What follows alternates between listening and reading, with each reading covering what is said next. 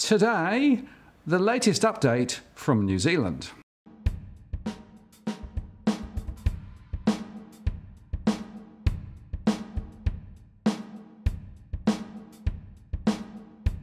Hello again, it's Martin North from Digital Finance Analytics. Welcome to our latest post covering finance and property news with a distinctively Australian and New Zealand flavour. Today I'm joined again by Joe Wilkes, the guy on the ground. Hello, Joe. Good morning, good morning, Martin. I'm not not so much on the ground today. I'm uh, in the uh, in the comfort of my living room. So um, yeah, no no rain to contend with. Quite a nice, bright, sunny day out there today. Very good. Well, you're still on the ground in New Zealand, so exactly, yeah, that still, still, still works for me. I, have, I haven't been driven out of the country yet. Okay, well, we'll keep, we'll keep an eye. If you get deported, we'll know why. Yeah. Now, there's been a really, really interesting series of developments over the last literally few weeks, right? So I thought it would be good to perhaps go through some of those developments and uh, try and give people an update on the narrative and what's happening and perhaps some predictions then about what may happen.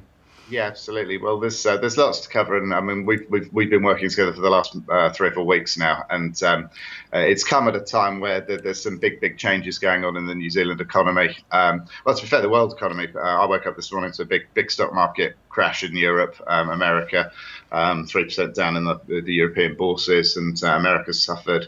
Um, Shanghai was down overnight, so things are things are changing on the sort of global perspective. But we've got a lot of um, very interesting things happening on a New Zealand perspective, which still aren't being reported on. Um, and uh, I think it's uh, it's in, important information for us to share what's going on behind the scenes, so that people can make their decisions on, on the ground and, and, and their big life decisions for for uh, you know buying houses, moving houses.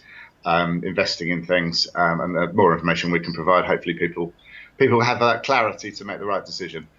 And I think very important is joining the dots, right? Because effectively there are a number of different pieces of information and evidence which may be reported, you know, in silos, but when you actually start putting them together, then you get rather a different perspective. Very much so. Very much so. I, I, think we're we're starting to see the consequences of the foreign buyer ban um, coming through, and, and that removal of liquidity that we talked about on the More from New Zealand post uh, that we did a couple of weeks ago. Um, you, you, take out a huge source of, of funding into a marketplace, and, and, and this funding, whether it's um, Chinese debt funding, whether it's uh, European money, wherever it's coming from, um, it means that there is a, a massive amount of liquidity that has just disappeared from the market. Uh, I don't think it's completely disappeared yet, and I think the legislation will take time to go through. We've still got quite a lot to do on um, anti money laundering regulations, uh, which come into effect in New Zealand on the 1st of January.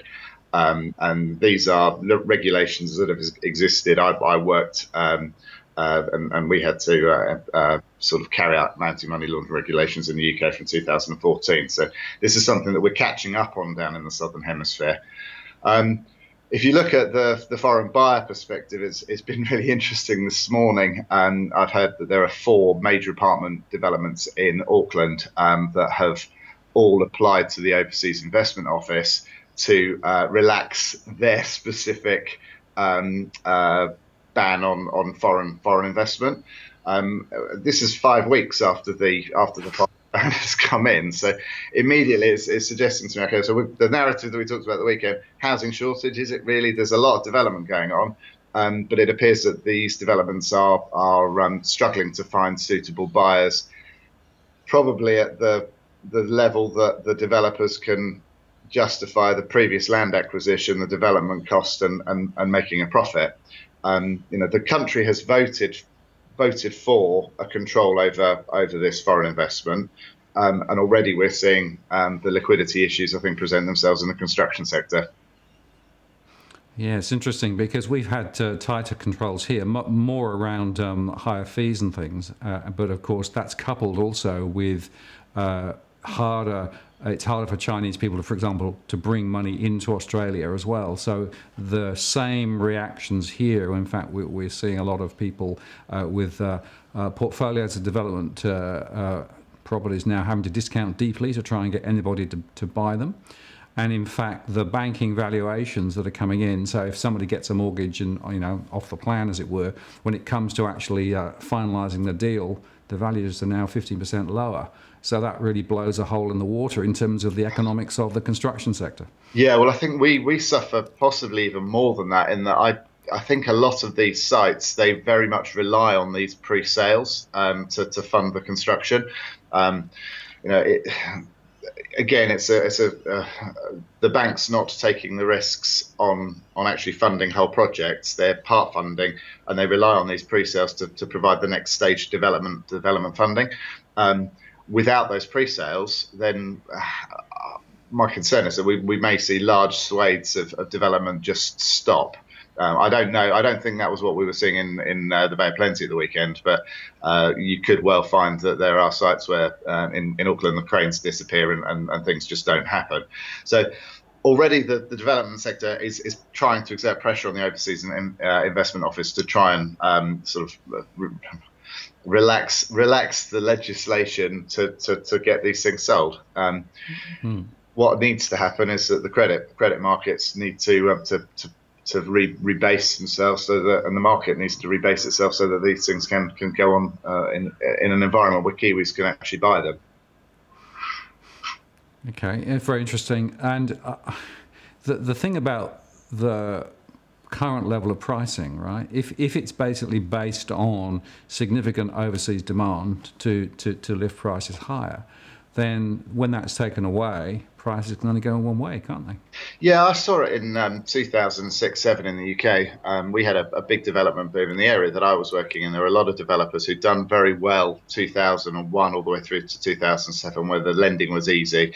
Um, and they were, you know, it even got to the point that we were knocking down existing houses and building bigger houses on, on sites. And there were a, a few developers who got who were very, very successful um, they had a business model where they were maybe producing, you know, not not massive scale developments, but they were producing five or six houses a year and, and, and turning some very good profits when the credit was easy.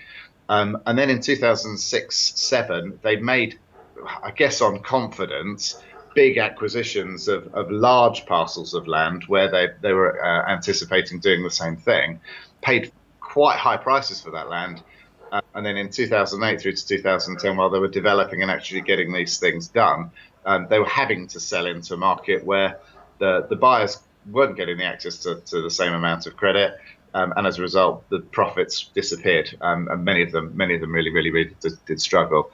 So, it's, it's the it's a consequence of, of uh, overconfidence in a in a market that the expectation is always going to go up, that the credit um, availability is always going to go up um, and and exponentially, and um, it it just leaves leaves these companies exposed when there's any change in the credit environment. And you know, we were talking the other day about the um, the RBNZ. Um, and I was I was quite shocked that they were doing it, and it was really interesting. On on our last discussion, they you know oh, sorry discussion before last, they're talking about well we're going to relax the lending to, to first time buyers. We're going to allow a higher proportion of low deposit lending by the banks. Um, and I was thinking, well, you know, we've already got a major situation. We've got 43% of, of mortgages lent last year at five times household income and beyond. Um, 25% at six times household income and beyond. I was a bit, bit um, concerned that, that that was being allowed to continue. Um, and then the following day, um, well, you, you saw it. Yeah, so you're. Uh your governor basically put a big speech out, right, and uh, was arguing essentially that uh, providing the banks have sufficient capital, essentially everything's fine. You know, we can go on lending forever, basically. Yeah, well, um, it, it, seemed like that, and and and but he's you know in one one part you're you're saying well we can we can keep going and we'll we'll let make it easier for, for people to prop this market up, um, and then the following day there was a speech made where he's um, tightening the regulations for all the all the banks and saying, well, actually, no, we want the banks to hold higher levels of liquidity, um, so their capital ratios are stronger and providing a bigger buffer. The two things don't work. You can't have a bank um, on one hand go and lend more money to, to more people will make it easier for you. Ah, but we want you to hold more capital um, in the event of, of risk and, and a crisis. So um, I can't see that there will actually be that much more lending in the market. Well, and of course, the third element is if in fact they have to hold more capital um, at the same time that they're lending more, then effectively that puts the price of, uh, uh of loans up. And um, that's immediately happened. Um, you know, where a few weeks ago we had the foreign buyer ban, um, I was thinking, well, remove that liquidity, what's going to happen? The bank's going to have to prop up their existing loan books, so they'll make um, funding cheaper. They lowered, many of them lowered their, their rates below 4%. Um, governor of the bank makes his speech on Friday. By Friday afternoon, they've all withdrawn their sub 4% uh, rates, and we're now looking at um, one and one and 18 month uh, mortgage money back over 4% again. So, um, where on one thing you've got a narrative of we're going to we're going to make lending a bit easier for first time buyers. On the other side the price of that lending is is looking like it's going to go up if the banks are having to hold more capital. Mm, well absolutely. Uh, and he also i think rolled out one very interesting chart which uh, we'll, we'll show here which shows the cost of bank failures on society right and they actually basically showed it as a percentage cost of the banking system assets, right? And, and, and, it's quite horrendous when you look at those numbers because basically what it, what it shows it in a, in a financial crisis, you could easily see 15 or 20% of the, the banking system effectively disappearing and needing to be effectively supported, right? Yep. Uh, and that's a huge number. And then he went, and, and then he went on to say, well, uh, you know, our, our, our primary tool is higher capital to try and actually buttress that. But then, of course, listed a whole bunch of other tools that they also have in their armory, including the bail in rules. Uh, which of course is the OBR in, in, in New Zealand, right? And, and, and so he, he's sort of on one hand arguing that the systemic risks of a banking crisis are really, really dramatic and need to be controlled.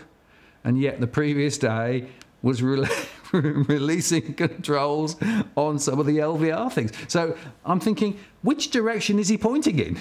Well, it's, it's difficult. I mean, actually, I think in, in that regard, he's doing a very, very good job because I think um, if you look at what uh, Mark Carney's done in the UK, um, he's a, a, master of subterfuge and, and, and, and saying one thing to, to the markets on one day and then painting a gloomier picture the other day, and it, it hopefully controls people's behaviour. Um, but unfortunately, it's not being very well communicated to the general public, so they're not seeing these speeches. They're, they're not being reported on the news. Um, you know, it, it, it, just doesn't doesn't appear. There might be a brief episode in, in one of the papers, but there's no in-depth analysis of what's going on.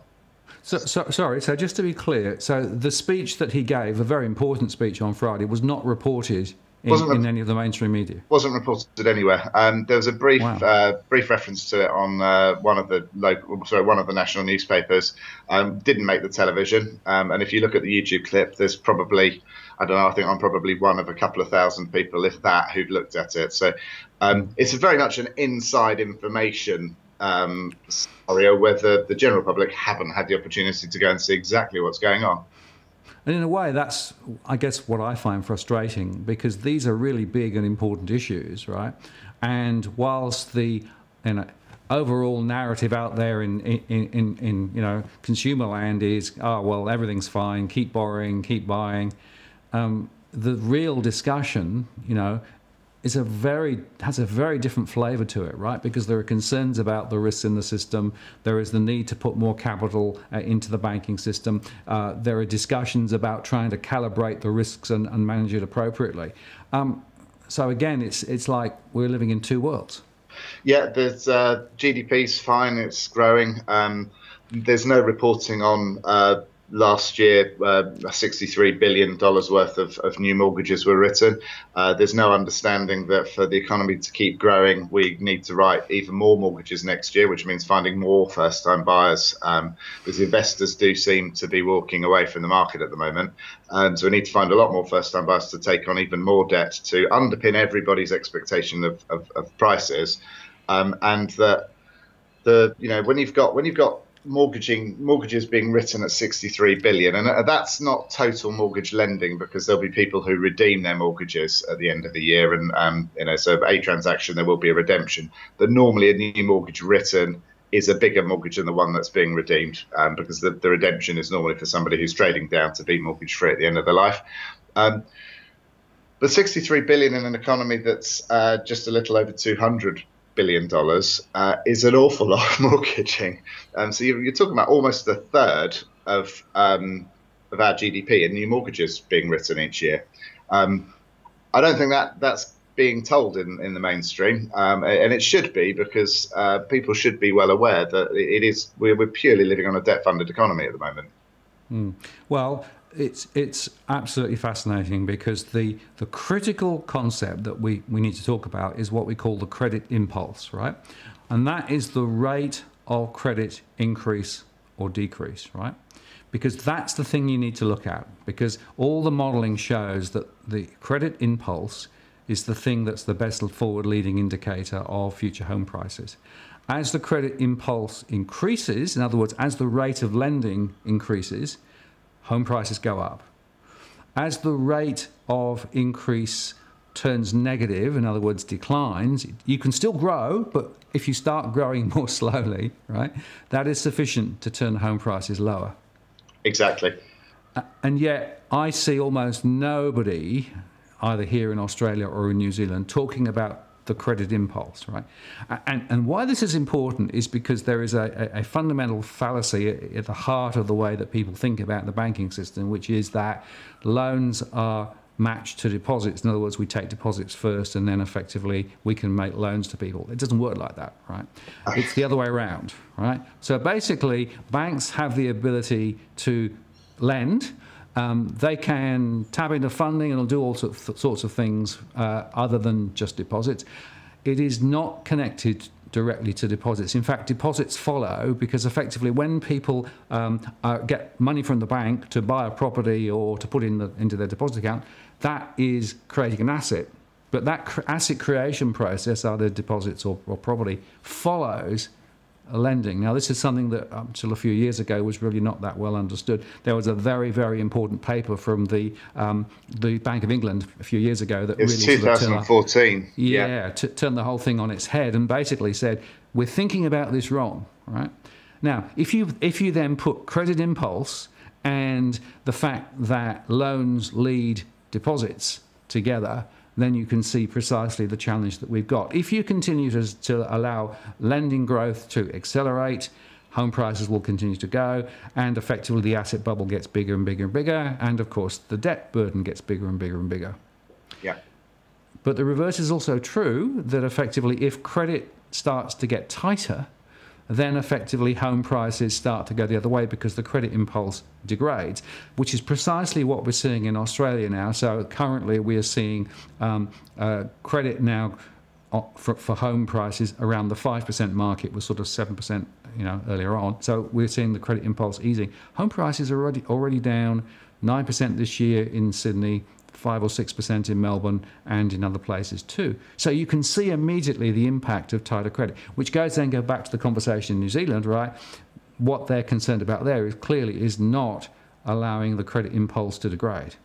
No, they can't afford to. I don't think. I think there's um, there is still this lack of understanding in, in New Zealand, and, and, and it's something that we, we need to debunk now. Um, if you and I and three other people go and put our money in the bank um, and save, and the bank pays us an interest rate for doing so, um, that money does not um, that's not what provides the mortgage at the other end. Um, the mortgage gets written and the deposit gets put on the balance sheet um, as, a, as an asset that will be charged interest over 30 years.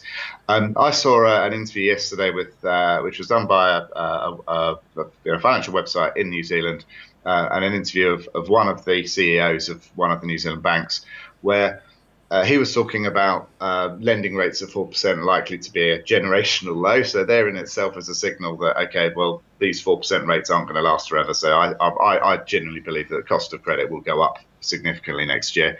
Um, the, the thing that astonished me about the interview was that the, the, the questioning um, was uh, around the deposit funding, so people putting money on term deposits and then getting three and a half, three point six percent, and the the four percent mortgage rates giving them a 0.4 percent spread was too narrow.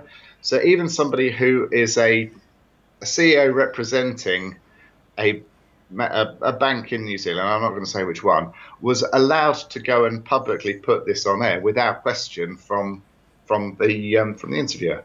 So we, we, have got we have got some issues, and and, and uh, from my from my perspective, it's not about creating an issue for the banks, but I think it's really important that the the customers and and the people that are borrowing money, lending money to banks, are all aware of, of how this how this money is created and flows around the system. We have got um, uh, a bail-in legislation in New Zealand. Um, it was written in uh, to law by the previous National Party. Um, I don't think very many people are really aware of what bail-in means, and I'd just like to explain that uh, sort of simply to people. Um, first of all, this is not something that is uh, is just New Zealand's got bail-in and no one else does. Um, Canada's got bail-in. Um, the UK have got bail-in as well, um, which I only found out about recently. They've got bail-in for um, uh, in legislation since 2014. It was snuck through at Christmas, I think, when everybody was asleep. a couple of years later, New Zealand um, they snuck theirs through as well. So the idea is, if you actually so so so go back, you know. As we said earlier on, the problem is in a, in, in a systemic banking failure, it costs the economy a huge amount and traditionally that's been the taxpayer who bails out the banks. That's happened in GFC, right? Now, globally, through the Financial Stability Board and through the G20, they basically said, no, we can't have that. We've got to find an alternative path. And so the alternative path is now to find different ways of dealing with bank failures, right?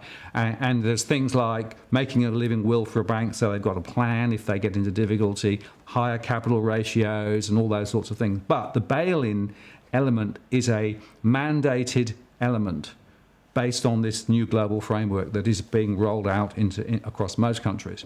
And the bail-in basically says certain classes of um, assets um, can be grabbed, right? And, and, so, for example, convertible bonds, uh, in other words, people uh, buy bonds in a bank that has the ability to be converted into equity, equity if required, right? That's sort of a recognized form of bail-in, but they also allow deposits to be bailed in and effectively converted to equity in the bank to be able to actually prop the bank up. So it's meant to try and protect a bank from falling over.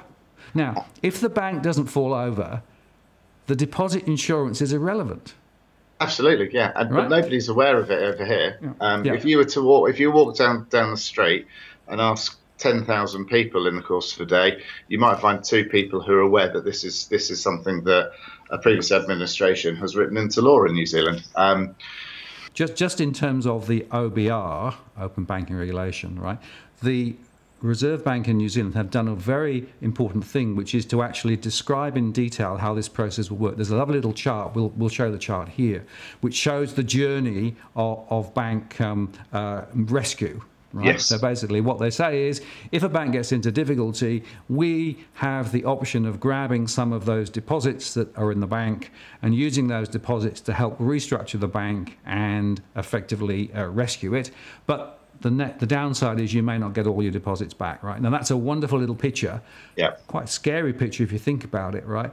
But almost no other country around the world has been so straightforward and transparent about the bail-in process, right? So, t- you know, tick to New Zealand tick, for actually, yeah, that, for, for that actually describe, definitely. yeah.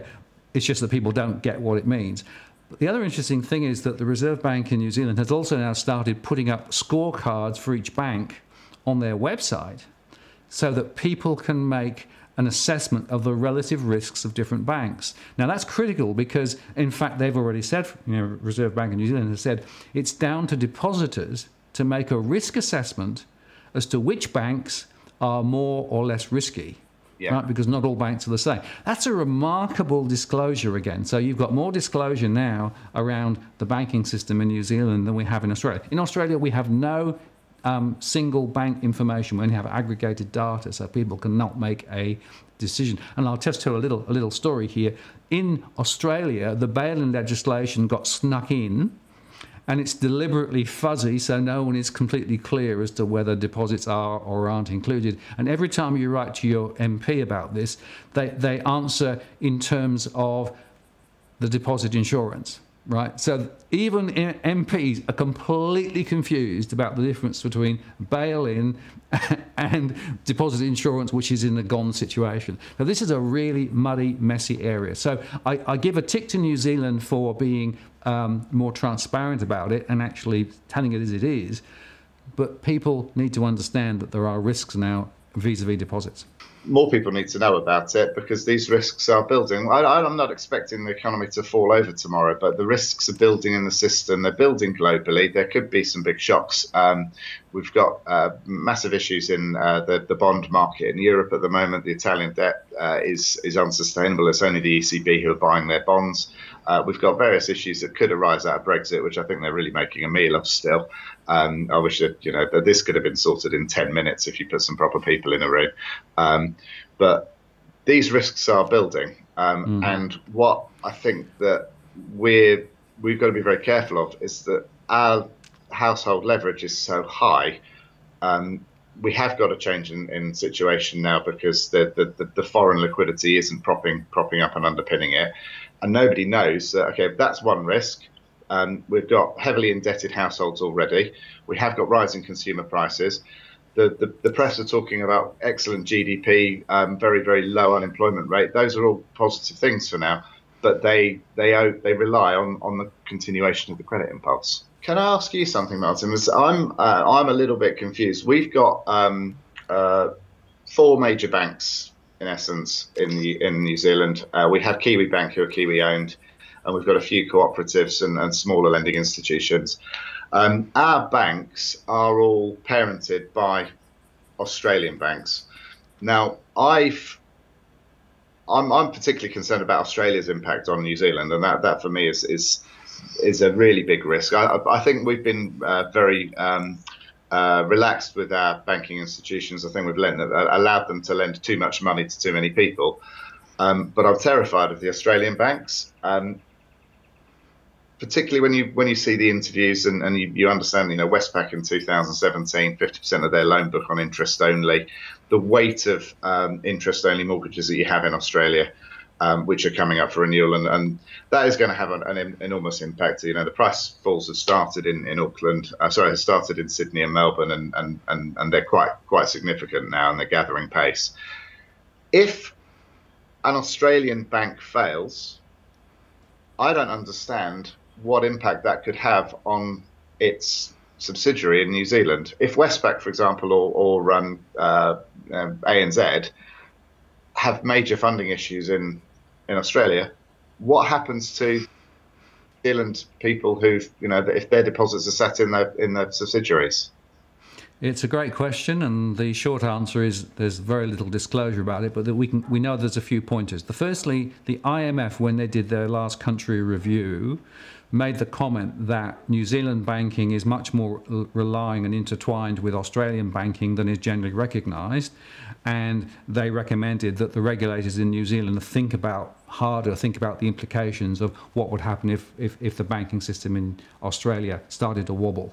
Right. So, so, so there's a recognition from an external point of view that that's a that's an issue and a risk. The second point is they are subsidiaries and they are subsidiaries in New Zealand, capitalized in New Zealand on a standalone basis. Yeah. Right. So, so in other words, you're not just using Australian capital to fund the New Zealand business. It is, it is actually regulated in New Zealand as a standalone entity and is tested as a standalone entity. The problem is that the spillover effect, That's if, for the example, the parent got into difficulty in Australia, it immediately locks liquidity and locks effectively the ability to fund forward. So the question then becomes what proportion of the New Zealand bank's books are funded not from local deposits, but funded from international funding sources? Yeah, right? it seems to be generally around the 20, 20% or so. Correct. So, so you'd have to assume that if the Australian end got into difficulty, then the New Zealand bank subsidiaries would have some difficulty in actually getting the liquidity they needed to continue to fund their book. And it's worth looking at the longevity of that funding because quite a lot of the funding is three, five, seven years. But there also will be some at the short end, 90 days is quite yeah. typical. Um, and uh, to give you a bit of a flavour of that, in Australia, about, let's say, a third of the bank's funding is on a 90 day running basis, right? Which right. is why they're so impacted by the rising funding rates if you look at LIBOR, if you look at what's happening in the US, because effectively every 90 days they have to keep funding, that's, funding, that's funding. Right? Now, I don't know what the mix is in New Zealand. I haven't looked at the statistics. Perhaps I should, but um, um, I suspect that you'll find a rather similar mix. So let's assume a third of that um, 20% is actually on 90 day running, right? Yeah. That means that effectively, quite quickly, liquidity becomes an issue because effectively, if you're not able to refinance and refund um, at all, or worse, at very high rates, yeah. then you've got a significant issue. So it could have pricing issues, it could have stability issues, and that is why the Reserve Bank in New Zealand is talking about holding higher capital. Because, of course, if you do hold more capital, then effectively it's the shareholders that take the risk first, right? But, but this whole question of the interconnectedness of the financial system, and it's not, I don't think it's just Australia and New Zealand, although it is a very close yes. connection. Worldwide. It's part of the global financial system. And in fact, a lot of the funding, if I look at the Australian banks, are through the euro markets or through the US markets. So we're completely exposed to any international dynamics, right? Which immediately um, could expose New Zealand. Correct. Yeah. So, so you know, it's hard to, and, and I keep saying to people, the regulators should be playing out these scenarios now. They should be thinking about what would happen if, right? How would we handle these sorts of scenarios? Because in a way, having all the toolkit, as Adrian Orr said, you know, it's useful. But actually thinking about how these scenarios may play out before they happen is really important because then you actually get to think about, you know, what might and may not work. The trouble is that what I see is people effectively saying, well, you know, we've got toolkits that we could use if we need them, but we leave it at that and then we react once yeah, it's, it's, about preparing beforehand. I mean, we, we've got in, in New Zealand um, 50% of mortgages come up for renewal. So uh, most mortgages, which are generally long-term obligations, they're up for renewal in, in, the, um, in the next 12 months that's quite a heavy change if all of a sudden you see a liquidity issue and, and the cost of funding goes up. Uh, that exposes the banks overnight. So hmm. it's um, yeah, it's, a, it's a, an interesting situation, but I don't think there is enough being talked about in the press. I think Reserve Bank have been very good in, in terms of being transparent about okay, this is where it is on the news to go and publicise it to the to the people. Yeah. And it's tricky, right? Because what you don't want to do is to create a run on the bank simply by saying we've got issues, right? And that's not what we're saying. What we're saying is it's important that people understand the dynamics that are in play and the reality of the situation, right? Exactly. And, because because then you can make sensible decisions about, you know, do I take a bigger loan or or whatever, or which bank do I actually go with? Because if you if, if you don't know that, then basically you're going to be blindsided if some of this stuff actually blows up. And as we keep saying, unfortunately, the truth is that the international financial situation is quite wobbly at the moment. Look at the stock market, look at the funding costs, look at some of the other things that are on, going on around the world. So, therefore, it, it is only sensible to think about some of these alternatives and talk about some of these alternatives so that people uh, uh, you know have have a better sense of, of what's really going on which partly is what the DFA channel is all about. We're exactly. trying to actually have something not, not trying to scare people but what we're trying to do is to have a more sensible and logical debate about some of the critical issues that we think are facing um, you know both New Zealand and Australia and other places and individuals as well. So that's why we do what we do. And uh, you're working very hard at it Martin there's plenty to talk about at the moment. A lot going on. There is indeed. There is indeed. Yeah. So yeah, no, we'll uh, we'll we'll see. I mean, from from from this end, um, it's just a case of people understanding a little bit more about where the money's coming from. Um, the, the Reserve Bank, um, they don't have all the tools in the toolkit. They should have been given uh, some tools a few years ago, in my view, um, that they should have been allowed to, to control the debt to income ratios on lending. Um, that was requested, it wasn't given. Um, it's still not there. I don't think you can deleverage from, from the position we are at the moment. You can't go and say, okay, well, um, we're not going to go and you know, we're going to restrict lending to four times household income overnight. You can't do that because that collapses mm. things immediately. But what I do think there should be is a, a, thought about a gradual process of, of just making sure that we, we, we are caring about the next generation and how much debt they are taking on. And the, the press is still encouraging this, the, the, the, the bubble, um, and the banks are still lending, as we know, over a quarter of their, their loan book on, on household income debt to income ratios of, of beyond beyond six. So mm. the, the controls need to come in gradually. Um, are the Reserve Bank talking to? We've got um, Michael Cullen currently putting together regulation around the rental market. We've got some tax laws that may change. We may have capital gains tax changes. Uh, we may have changes to negative gearing. Now, all of these things need to be thought about from a holistic perspective. Um, and, and, my concern is that at the moment, um, the conversation is hopefully, hopefully they are taking place, but there's um, uh, if one if one part of you know we've seen this foreign buyer ban come in, and that has immediately changed the liquidity, and, and we've got the, the building sector screaming to the overseas investment office. Um, I, I, agree with the foreign buyer ban. I think it's the right thing to do, um, but you can't do everything at one hit at the moment. We, are going to have to manage this process over a period of years um, to avoid avoid a, a, you know a situation that could you know regardless of what's going on in the wider world, could present a major issue uh, for you know the communities that, that, that I'm living in.